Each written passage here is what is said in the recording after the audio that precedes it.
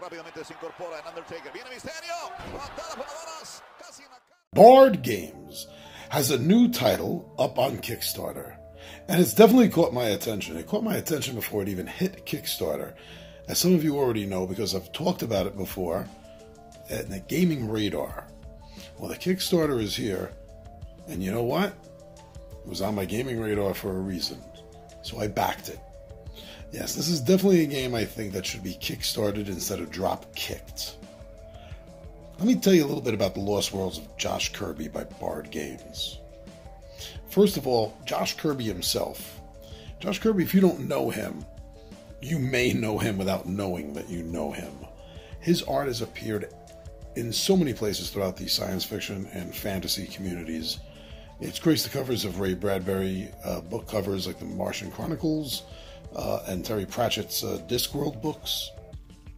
He's also been a featured painter and illustrator for Return of the Jedi poster and the Tunnels and Trolls role playing game, among others. His art is fantastic. It is unbelievable. And Bard Games is actually working with the uh, Kirby estate on this. And they have gotten access to some amazing artwork that hasn't been seen before. Artwork that isn't necessarily from his his massive volume of work uh, in the field already. Now, it may be enough to back the game for that if you're a big enough fan of science fiction and fantasy art, or specifically of Josh Kirby. But what about the game itself? That's another reason why I did back this game. Now, I do enjoy science fiction games, and this is a great science fiction conquest style game from everything that I've seen, everything that they've shown, everything on the Kickstarter. This does look like a great sci fi conquest style game. But now, besides that, it delves into a style of game that I'm only just now dabbling my, my feet into a little bit with one other uh, style game under my belt already from Kickstarter. I'm waiting to get, and that includes this one now as well. And that's a legacy style game. The bundle pack version of of the backer level has legacy style rules and extra boards and stickers and things that you're going to need to play a game that's not only going to be a game of, of conquest of planets, but a game that is going to shape and affect the entire galaxy as well as future games moving forward. The game system is also something else that grabbed my attention because it is it is really simple. It has at its base core, really all it is is rolling dice to find out what your available actions are going to be. Then using those dice, taking those action dice, you're going to be able to do things like a move action, which is something that you're going to use to send your fleet out because you're going to use that for conquests. Maybe uh, you're going to you're going to do that exactly. Maybe that's what you're going to use the dice for. You're going to acquire worlds, and you're going to need to have a certain power presence of of fleet there already. You use renown to unlock even more bonus choices that you're going to have during the course of the game. And then the controlled worlds themselves that you've already conquered, that you've already colonized, that you've already taken control of.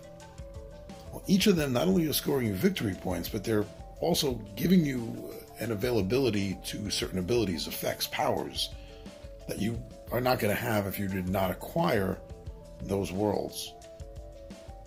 The game has something that uh, I've seen in a few games, but not in enough games. And that's this morality track. That during the course of the game, as you as you acquire these planets, as you take over them, you you get to kind of choose how it's being done and, and, and what the after effects are.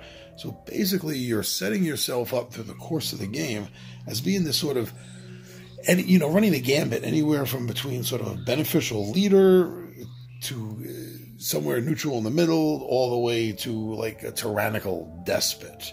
And they're going to have different effects in the game, and they're also going to have different effects also as well in that space opera legacy mode. And this really kind of this has me excited. It really does because it, it really tweaks the game to this unique point. And I say unique point because it's unique to you because you are making that decision of how you want to how you want to take it, how you were you are maneuvering the future of the game. Now I mentioned the the bundle pack, which is one of the backer levels, and in this it has uh, has something really really really cute uh, and really fun that looks like it's gonna really uh, enjoyably take up a lot of your time, several hours of your time, I guess, at the very least. And it's something that uh, something I like to do, and it's something my, my wife loves to do actually. So it's the kind of thing that, that that could work for someone that's not even a gamer in this sense. And that's something that they call the the Lost Worlds of Josh Kirby Mission Log.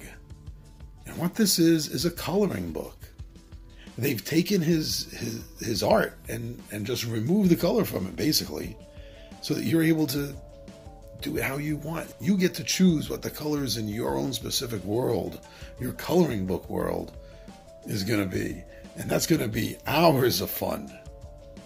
Now already at this point uh, and this should be dropping the day after i'm recording this uh, it should be but uh, yeah, it's uh, right now already like eight of the stretch goals have been unlocked already, and that's something like nine new worlds as options while playing the game, and uh, an upgrade to the dice and the meeples. It uses some meeples, not a lot. Uh, champion meeples, and then the dice are upgraded to a really nice, nice resin cast. Now, like many Kickstarters do, this has some add-ons that you might be interested in. They don't remember add-ons don't come with the Kickstarter. They're not uh, stretch goals that you get as free as a bonus. Literally, they're add-ons. So uh, one of them is is of course, and this is this has become very popular, I think, with a lot of Kickstarters I've seen, and that is an upgrade uh, to either a board or, in this case, giving a mat, a game mat. This is a, this is a uh, two foot by three foot double-sided neoprene uh, game map, and it's gonna it's gonna look really nice on the table, and it's gonna help you set up the cards, where they go, and, and really something nice to look at while you're playing the game. Not that you would need anything nice to look at. This art is amazing. Now, the final thing I want to talk about about this Kickstarter, I just want to let you know because this is this is really really nice, and that's on the Kickstarter page. There's a link because the Kirby estate has actually shared three personal letters from Ray Bradbury himself to Josh Kirby. And they did this to help celebrate the impact that these two legendary sci fi fantasy geniuses uh, have brought and delivered to the field. And it's, it's really nice. Please go check that out. Uh, that link is on their Kickstarter. And it's a beautiful touch. It really is. So, The Lost Worlds of Josh Kirby this game is definitely worth kickstarting. We kickstarted it here at Two Gun Pixie. Why don't you join us? We'll see you there.